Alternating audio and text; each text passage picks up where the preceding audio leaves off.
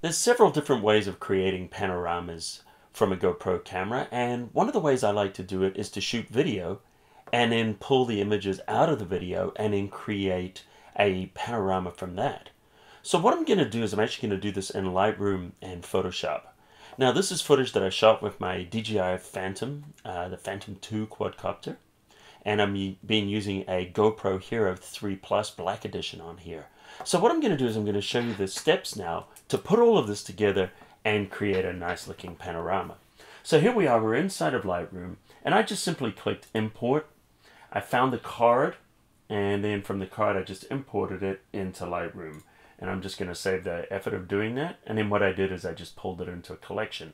Or you could have just also go to wherever you imported it here inside of Lightroom. So what I'm going to do now is I'm going to show you, here's the video. So typically what you might see is you might see it close. So when you click on the video file, let me open this up here and we'll see, you know, here's our, our Phantom video. We're inside the library. So if we look inside the library panel, I've got some photos that I brought in and we'll talk about those in a sec. But here's my video clip. You can scrub over this video or you can double click to open it. You can hit the play button here and this will play it. And you can also click and drag to scrub through this video. So what I'm going to do though is I'm going to show you how to open it. We click this little gear icon and then this opens it up. And then you can see in here, there's our video. So we can scrub through this video and what we're going to do is we're actually going to create a panorama. And I'm just going to get pretty close to where we shot the panorama. If I just hit play here, you can see what's happening is I've got my quadcopter here and I'm just kind of flying around. And then when I want to shoot a panorama, what I do is I'm just yawing around right now. And you can see just very, very slowly, smoothly, and gently. You don't need to stop in between the shots. Um, if you do that, then what's going to happen is the footage is not necessarily going to be usable. You might get some pictures that you can shoot, but honestly, if you're moving slowly like this, you're not going to get a lot of motion blur. It's not really going to be an issue. I'm also shooting at 2.7K on here. Uh, when I get my GoPro 4, I'm going to be doing the same thing at 4K. So right now you can see this is just straight out of the camera. And we're just kind of going around there. And as you can see, we've just done a complete 360 degree panorama. And we're back to where we started. So what do we need to do to get the images off of this? Well, what we do is we just simply start with one of the images that we want. We go down here, and then we just simply choose capture frame. And then when we capture frame, what it does, let's go in here. There we go. There's an image right there it's taken a full resolution image from this video and it's right there. So this is not even uh, a screen capture. You can see if I move in one to one here, it's full size. So uh, this is the best and cleanest way that I know to get a still frame out of a video. So let's go back to our video. And then what would we do, you know, when we were panning around? Let me just go back to roundabout because we were pretty close about the nine minute mark. So what I do is I will take one of the shots, I'll click there, and then you can also hit these little buttons here to move backwards and forwards one frame at a time. So what I'll do a lot of the time is if I've got my first frame, say there, I, I like to do a little bit more of an overlap than you normally would. Typically in a panorama you're looking at 30%. In this case I'm doing about a 50% because I'm going to lose some when I do lens correction. So I would go in here and I would just choose capture frame again. And then we're going to go forward. And you can see I'm just kind of scrubbing through this and then I'll capture the next frame. So that's one way of doing it. The other way you can do is actually just start and, you know, just hit the play button and then just stop, capture a frame, hit the play button, let it go again until we've got, you know, some good stuff there. I'm thinking about here's looking good. But I noticed that lens flare started coming in about two frames ago. So I'm actually just going to just tap it back a couple of frames just before that lens flare hits, which is going to be about exactly there. Then I would capture another frame. So as you can see, we're just kind of moving the camera around and then we're just capturing these frames as if we were there live, but we're doing it later on in Lightroom. So I'm going to double click and you can see here's a couple of the frames that I've grabbed. But here's the frames that I grabbed earlier on so you don't have to sit there and watch me doing this. This is actually the final full 360 degree panorama you can see there. It's quite impressive. And we can zoom in. This is the one that's already been processed and everything like that. But let me go back. We're going to go back to actually our library module. I'm going to double click. And so you can see we've got these images. So what you would typically do is you would just select all the images that you want to use in your panorama and then continue. So here we go, we've got the boat there. And if I hold down the control key or the command key, I can select a few of these images and notice this is selecting the ones all off to the left side. Now I want to take the ones to the right side, so we're going to scroll down. And then here's our boat here. And these are the ones you can see there from the right side that we've selected.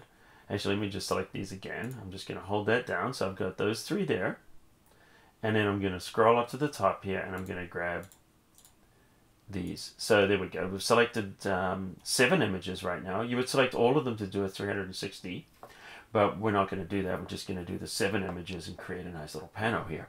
So the next thing we have to do though is we need to go into the develop module. Notice that the seven are selected, but we're only adjusting the one that's selected there. We're going to go down to lens correction. We're going to turn on enable lens correction GoPro. And notice what this looks like before and then after. What that does is it gets rid of the distortion.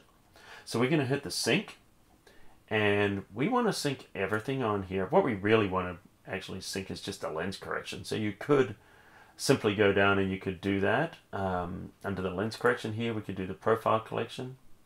A lot of the time I just check all, it's just as quick and then just hit synchronize. And then what it's doing is it's just copying that lens correction to all of those images. So all of those are now lens corrected. And now we're ready to bring them into Photoshop. So we go to Photo we go down to edit in and we go down to merge to panorama in Photoshop. Now when we click this, we're just going to get this little warning sometimes when we're out of sync with our camera raw version. No big deal. And we're just going to actually open this up in Photoshop now. We're done with Lightroom. We're going to do the rest of our workflow here in Photoshop. However, when we're finished, when we hit the save button, it's actually going to save that original back into Lightroom so we can manage that photograph from there if we want to. So let's have a look here. We've got the photo merge dialog boxes come up. And then we're just going to choose the cylindrical because we're doing a cylindrical panorama. We're not doing a spherical, we're doing a cylindrical. Alright, so we've got these selected. We're blending the images together and we're going to click OK. So now what it's going to do is it's actually going to attempt to align all of these photographs and put them together into one seamless panorama. And typically speaking, Photoshop does a good job of this. And you can see I shot this really early in the morning, so we've got just beautiful colors in here. These are looking really great. I didn't use a Protune in this particular instance. A lot of the time when I'm shooting video, I do turn Protune on, but in this case, I'm actually quite happy without using Protune. Um, also makes these images here when you're working in there a little bit quicker. So here's our uh, progress bar here. You can see it's taking a little bit of time here because Photoshop really has to think quite hard about this, about aligning them, because it's not easy coming from a GoPro camera or a Phantom camera for that matter. Okay, so here we go. We've uh, got them merged together, and these are looking pretty good. You can see our panorama is, is quite nicely merged. So what I'm going to do is I'm just going to hit, I want to merge all of these together. So I'm going to hit Control E or Command E to merge these. And now we've got them into one layer. Now the next thing I'm going to do is I'm just going to crop these. Sometimes I do wide, wide angle um, correction, the adaptive wide angle. And I'll just show you where that is in case you want to do that. The adaptive wide angle, you'll go in here and you'll see some different options here with the panoramas working with, with this option here. And this is actually, I've got, I go through all of this on my uh, DVD that I'm done on the uh, DJI Phantom Handbook. Uh, but what we're going to do is we're just going to make a quick panorama here. So I'm clicking the crop tool here and I'm going to go up and I want to crop the beginning about there. And I'm going to take the opposite corner and I'm going to crop it into about here. But I want some additional depth here because I, I don't want to cut this right off under there where we start to cut off the front of the boat. So you can see I've got little bits of corners and stuff in there that are not necessarily going to be um, perfect. So I'm just going to hit enter. I'm going to choose the delete cropped pixels, hit enter to crop. Now it's looking pretty good, but we've got some transparent areas here. We're going to fill those up. We're going to hit Command or Control and click on the thumbnail. Notice the selection is active. Now we want to invert that selection, so we go to Select, and we're going to choose Inverse. Now what that does is everything that wasn't selected is now selected, which is the transparent areas. Those were the areas that were not selected. Now they are because we inversed it. However, it's right up to the edge. I want to kind of go into these a little bit so we're kind of a little bit on the edge between the transparent and the pixels. So to do that, we're going to choose the select, we're going to use modify, and we're going to expand that selection a little bit. So it's just going to make this selection just cover a little bit more ground. And I'm just going to grab 20 pixels and I'm going to apply OK. Notice now we've got a little bit of an overlap. And that's good. We wanted that overlap. So we can fill this now with content aware fill. So we're going to use Shift Delete or Shift Backspace if you're on Windows.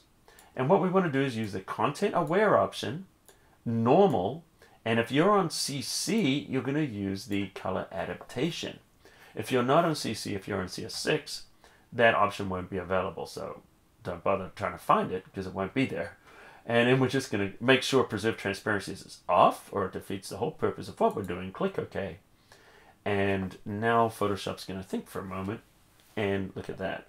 Control D or Command D to deselect and it's filled those corners in beautifully and now we have a nice panorama. Now you might want to do some further processing on this in Camera Raw. In fact, we'll just touch on it just real quickly here. We're going to choose filter and we're going to go to the Camera Raw filter we're going to pop this open and I'm just going to do a couple of quick adjustments. Let's adjust the exposure a little bit, brighten it up. We're going to recover some of the highlights by pulling the highlight slider down, open up some of the shadows just a little bit, not too much on here. And then notice we've got a little clipping so we're going to fill in the blacks. So we're going to hit the option key when we do this. And then when we do, we'll see these little areas appearing. That's the alt key. And then we release, and this is these areas that are being forced to black. So this is giving us a nice little good bit of body in there. Might even take it a little further. Give it a little touch of clarity here. Not too much, just a little bit. And maybe a touch of vibrance. Not that it really needs it because it's actually looking quite colorful and vibrant right now. So we've made some just really, really basic adjustments here inside of Camera Raw and we're going to click OK. And you'll see those adjustments before and after. It just kind of cleans it up, brightens it up quite a bit. And you can see if we zoom in here, Let's look at this uh, before the adjustments and after the adjustments. So there we go. That's how we create a panorama from video using a GoPro and a DJI Phantom 2 quadcopter. For more information, check out photoshopcafe.com. Don't forget subscribe to our channel right here on YouTube for more great tutorials every week.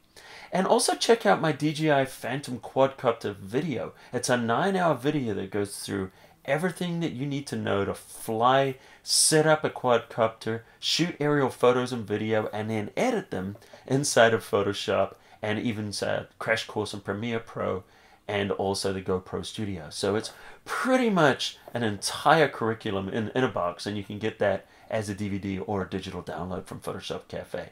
So thanks for watching. Add a comment below if you get stuck. I'd be happy to answer your questions. And until next time, I'll see you at the cafe.